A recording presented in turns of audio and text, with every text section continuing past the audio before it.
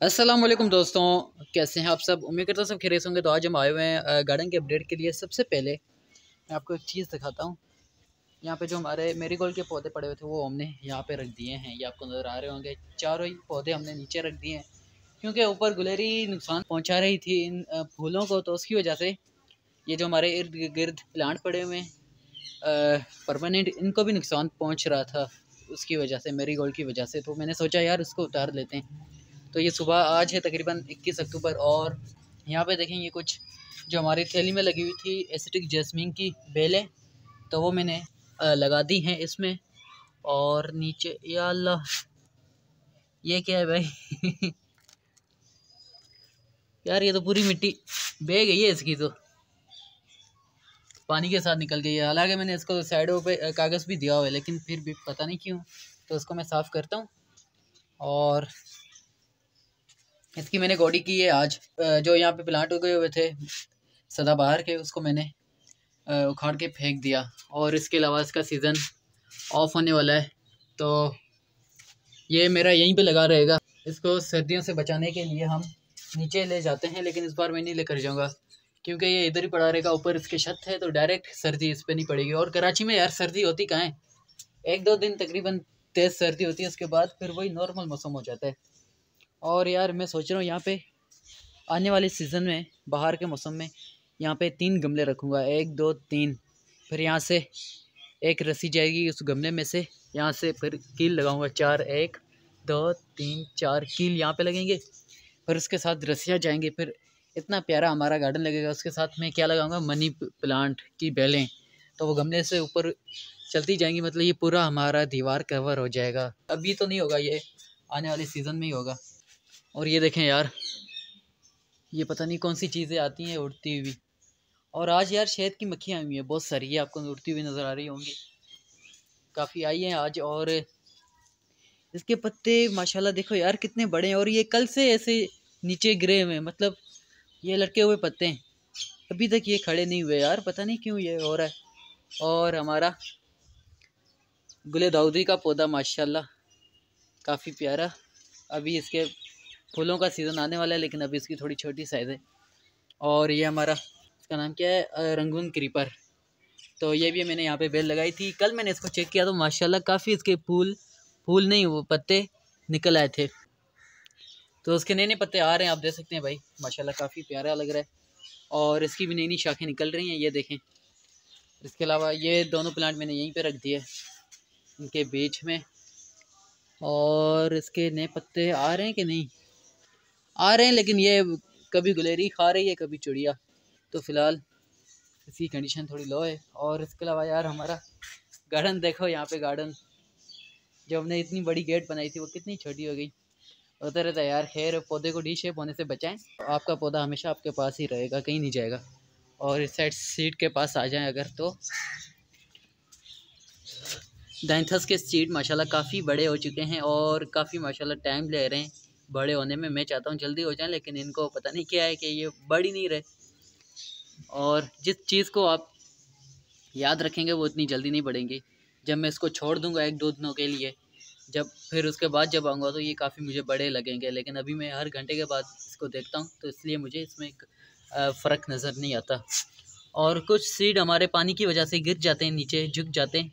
Seed नहीं, अभी तो ये फ़िलहाल पौधे बन गए तो इनको हम सेट भी करते रहते हैं और जो पौधे बिल्कुल नीचे होते हैं, उनके ऊपर मिट्टी चढ़ जाती है कोकोपीट तो उसको भी यार सेट करना चाहिए। और अब तकरीबन इसके दो, बहुत सारे प्लांट ऐसे हैं जिनके चार लीफ निकलने वाले हैं। दो लीफ तो निकल आए, उसके बाद अभी दो और निकलेंगे मतलब टोटल चार हो जाएँगे। और कॉस्मोस के सीड भाई। यार, ये बार बार मैं सीड क्यों बोल रहा हूँ भाई? ये पौधे हैं पौधे पौधे को उनको हाँ तो ये मेरे पौधे हैं भाई। इसकी कंडीशन आप देखें। कोई कोई यार ये बहुत लंबे हो गए हैं और ये झुक रहे हैं एक साइड पे। तो जब मैं इसको रिपोर्ट करूँगा शिफ्ट करूँगा अलग पौधे में तो फिर क्या करूँगा कि इसको तकरीबन आधा में मिट्टी के अंदर दबा दूँगा ताकि ये अभी जब ऊपर वाली इसकी ग्रोथ निकले तो वो नीचे ना झुके।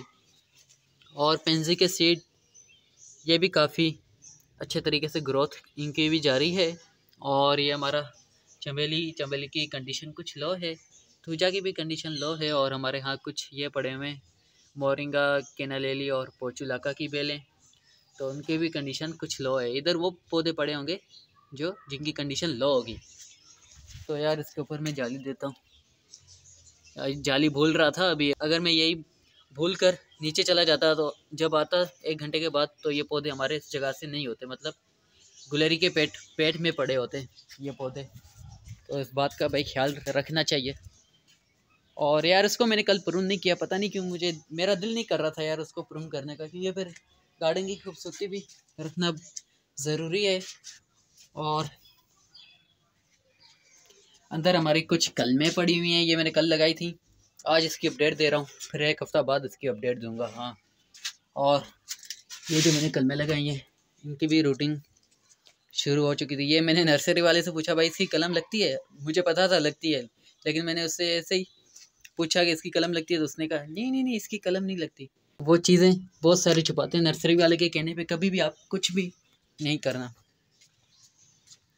जो नर्सरी वाला कहे कि ये नहीं होगा मतलब वो होगा। हाँ ये तो मैं फिर घर आया तो मैंने इसकी कलमें काट कर इधर लगा दी, जो टूट गई थी।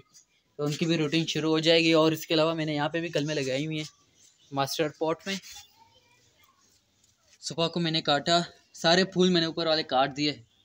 जो गुलेरी ख़राब करके गई, वो सारे मैंने काट दिए यार। दुख हो रहा है काफ़ी। यार इंसान इतनी मेहनत करता है फिर उसके बाद गुलेरी आके ख़राब कर जाती है, बहुत ही दुख होता है। और ये देखें हमारी रात की रानी की शाखें भाई, पता नहीं इसको क्या है, कोई इधर भाग रहा है, कोई इधर भाग रहा है, ये देखें। ये साइड जा रही है, ये साइड वो रही। और ये एक यहाँ से ऊपर जा रही है, और एक ये रही। और एक ये भी है। और इसके अलावा हमारे चंबेली की नई नई शाखें आ रही हैं। यार शुक्र है भाई, ये देखें, आपको नज़र आ रही होंगी, मैं ब्लर हटा देता हूँ। ये देखें, इसकी शाखें नई नई आ रही हैं। और ये भाई, इसकी भी आ गई, माशाल्लाह माशाल्लाह। ये देखें इसकी भी शाखें नई नई आ रही हैं, नई नई शूट निकल रहे हैं और इसके भी, माशाल्लाह यार। आज तो बहुत सारी खुशखबरी मिली है हमें। और इसको भी मैंने कल काट दिया था, क्योंकि काफ़ी अजीब लग रहा था ये। और हमारी जो एलोमेंडा की बेल और टिकोमा बेल लगी हुई है, उसकी भी ग्रोथ हल्की हल्की जारी है। मुश्किल अंबर का पौधा ये देखें, माशाल्लाह। काफ़ी अच्छी ग्रोथ चल रही है। कुछ सामान लाया हूँ, ये वही सामान है जो मैंने आपको उस दिन दिखाया था। और यार मैं सोच रहा हूँ उसको बीच में से यहाँ से सुराख करके इस जगह से, ये जो जहाँ पे आप अंगूठा देख रहे हैं, यहाँ से सुराख करके ऐसे कील लगाता हूँ और उसमें ये लगाता जाता हूँ। और तकरीबन ये मेरे पास छः से सात बोतलें हैं कटी हुई, और ये कबाड़ से जुगाड़ तो वही बात हो गई। तो यार मैं सोच रहा हूँ यहाँ पे लगाता जाऊँ और इसके अंदर मैं दैंथस के पौधे लगाऊँगा। दैंथस तो यार अभी बहुत छोटा है। नर्सरी जाऊँगा कोई ना कोई यार लेकर आऊँगा इसके लिए। और यार मैं सोच रहा हूँ ऐसे प्लांट लाऊँ जिनको गुलेरी भी नुकसान ना पहुँचाए।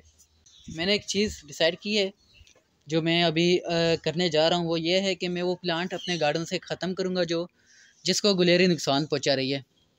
जैसे केना लेली हो गया केना लेली ये सारा यहाँ से खा गई। ऊपर वाली कोई भी शूट आपको नहीं नज़र नहीं आ रही। और इसके अलावा और कौन है जो गुलेरी जिनको नुकसान पहुँचा रही है? बस यही है एक और ये तो ख़त्म करना है, इसको नामुमकिन है यार। ये जो आप देख रहे हैं चाइना रोज़, इसको गुलेरी नुकसान पहुंचाती है, लेकिन हल्का हल्का, लेकिन इसको मैं ख़त्म ही नहीं करूँगा।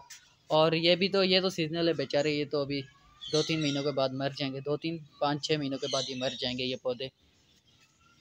यहाँ पे ये बोतलें लगाता हूँ, उसमें पौधे लगाऊँगा। जैसे ये हो गया आई टी आई प्लांट ऐसे लाऊँगा।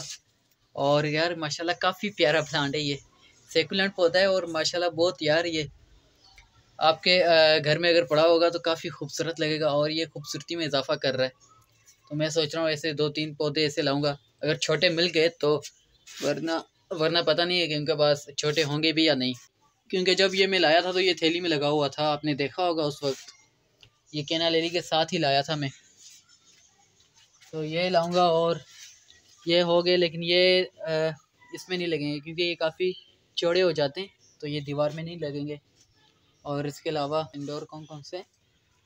बस यही पड़े हुए देखता हूँ यार नर्सरी जाना पड़ेगा कल या परसों इसके लिए। जी तो दोस्तों, अभी शाम हो चुकी है और यहाँ पे आप देख रहे हैं, बिल्कुल खुश्क साली का माहौल लगा पड़ा है। और ये क्यों लगा है? क्योंकि यार मेरे पास पानी की किल्लत हो चुकी है। पानी बिल्कुल ख़त्म होने वाला है टैंकी से। और आज 21 तारीख है तो अभी तक मतलब पानी नहीं आया यार। महीने में एक बार आता है पानी यार, ये मसला है इस इलाके में। पानी को संभाल संभाल के भाई चलाना पड़ता है। और मैं ओवर वाटरिंग कर दूँ पौधों की तो पौधों का भी नुकसान होगा और पानी भी हमारा ख़त्म हो जाएगा। तो इसलिए मैं सोचता हूँ कि पानी यार कम इस्तेमाल करें। और आज के लिए इतना ही दोस्तों, उम्मीद है कि काफ़ी वीडियो ज़रूर पसंद आई होगी। अगर पसंद आई है तो हमारे चैनल शेयर में गाड़ा को सब्सक्राइब करके फिर जाना, ताकि आने वाली हर नई वीडियो आप तक पहुँच सके। अल्लाह हाफिज़।